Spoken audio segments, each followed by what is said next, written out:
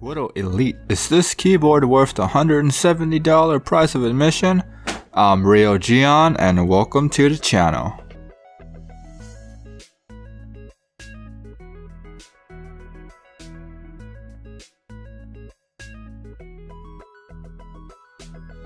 Front really reminds me of the Black Widow X. Now that I mention it, I think this is basically the Black Widow X that I wanted them to make when I made my review of the Black Widow X. I'll put a link to that video down in the description below for you guys to check out. Anyways, I dig this font. It looks very professional, which is quite odd coming from a Razer branded keyboard that is mainly geared towards gamers. I still find it interesting that Corsair is making their keycaps have this huge font where the keyboard was more professional to begin with. I guess that discussion is probably meant for another video. The one thing that I have to give Razer credit for is that they actually improve on everything I said was wrong about the Black Widow X. And there's the price bump of $10, but honestly, I think that's fair. I can't believe I'm saying this, but I do think that the pricing on this keyboard is fair with the amount of features you are getting. So going back, I do like that they included the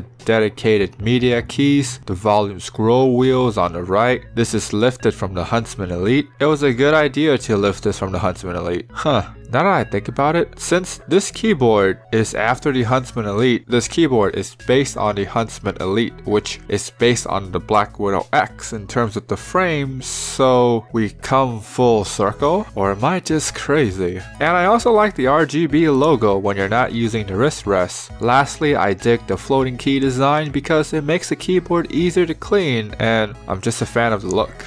Kailh has came a long way and I think that Kailh at this point, they have a fan base. They're making switches that are more than just cherry clones. This is great news because with more competition means more benefit for the consumers. When I look at the switch on this keyboard, I immediately think about those Kailh box switches. Whether or not these switches are made by Kailh is something that I'll leave it to the comment section down below. Whatever the case is, I think that people are either on one side of the fence where they just accept the switches and they will defend the switch because they're a fan of the brand, or they hate the switch and hate the brand for cheaping out. Personally, I'm interested in seeing someone with a Razer Switch keyboard that have the keyboard for a very long time. So if you have like a first gen Black Widow with those Kailh green switches, let me know how that keyboard's doing. In terms of the brand, to be honest, I don't care. As long as the product itself is good, if these Kailh switches are proven to last longer than the MX Blue, then I'm all for that.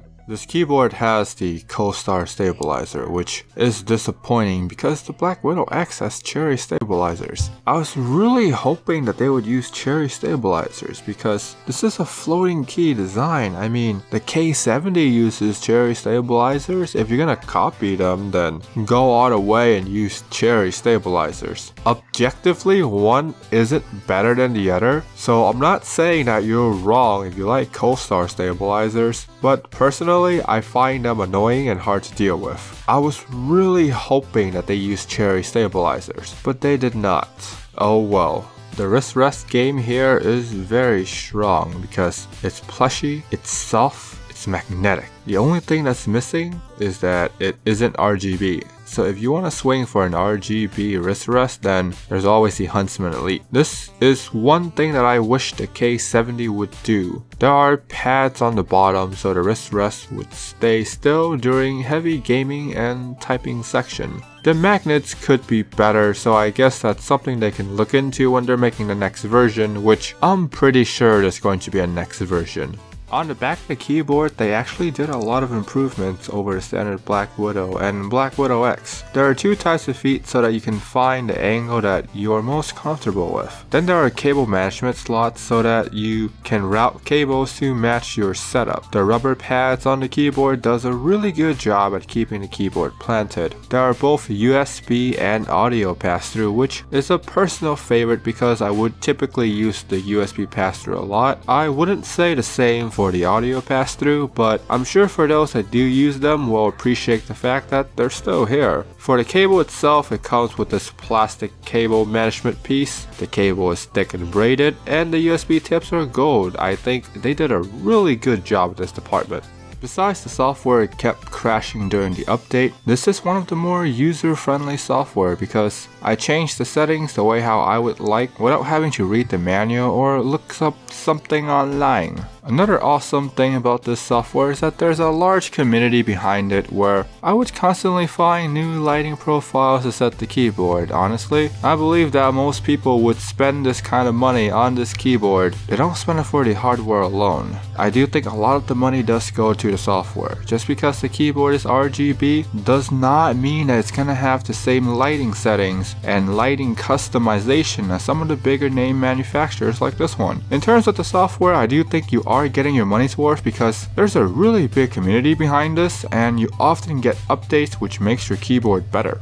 This is one of the more comfortable keyboards to type but I would not say it's love at first sight. I do like how much lighter the switch is now and I do like the sound it produces, but I didn't instantly fall in love with it. The travel is buttery smooth and the transition is great to the point where I do feel like I'm flying through this keyboard. This is a very satisfying keyboard and is something that I would recommend people trying out, but it doesn't quite get the love at first type rating simply because it's just not as satisfying satisfying as I would like it. If you're someone who's been around the block with mechanical keyboards, then you might know what I mean. If you're new to mechanical keyboards and you're willing to pay top dollar for a keyboard that has everything, then I would highly recommend this keyboard.